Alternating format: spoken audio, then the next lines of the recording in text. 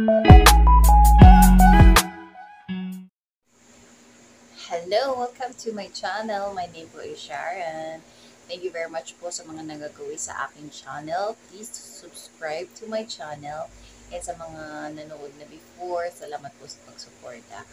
Ang tanong ko ngayon is, may nakita ako sa comment section.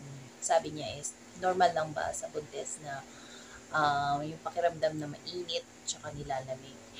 Yes, that's very normal. Lalo na pag uh, buntis, um, karaniwan sa mga buntis is yung mainit ang pakiramdam. Parang lagi kang um, irritable.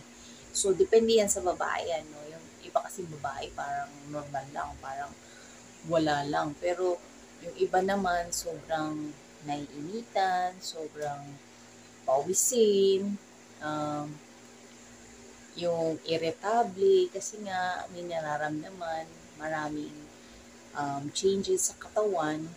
Yung iba naman nila lamig. So, depende talaga siya sa babae. So, hindi lahat ng babae is pare-parehong nararamdaman.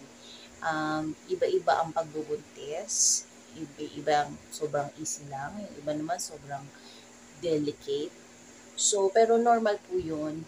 Yung kung sino man nagtanong po na normal lang ba yung nagiinit at lumalabig pa karam. Normal po lang sa baby. Eh, sa buntis, sorry.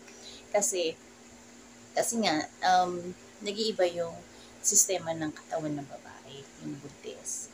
So, yun lang po ang sagot sa inyong katanungan. Thank you very much po for watching and please subscribe to my channel. You have a good day. Bye! Hi mga mommies and sis! Meron po akong iaalok sa inyo, uh, period tracker. This po ay nakakatulong if gusto niyo pong mabuntis or ayaw niyo pong mabuntis. Kung gusto niyo pong mabuntis, meron po dito mga um, instruction or guide paano po gamitin. Meron po dito malalaman niyo yung dates kung kailan pwede kayong mag-do para mag-conceive kayo alam nyo kung kailan kayo mag-ovulate. Doon naman sa mga sister or mommies or mga babae na ayaw munang mabuntis, it will help you to to know kung kailan kayo safe makipag-do um, para malaman nyo kung kailan kayo hindi pwede or pwedeng makipag-do para maiwasang mabuntis. So, meron po yan instruction sa loob. So, um, this is only for 18 pesos. So, very handy po siya. Pwede siya sa wallet or sa bulsa. So, 18 pesos po ito sa Shopee. I'm gonna uh, put the link in the description below. Thank you lang po. Sana supportahan niyo po.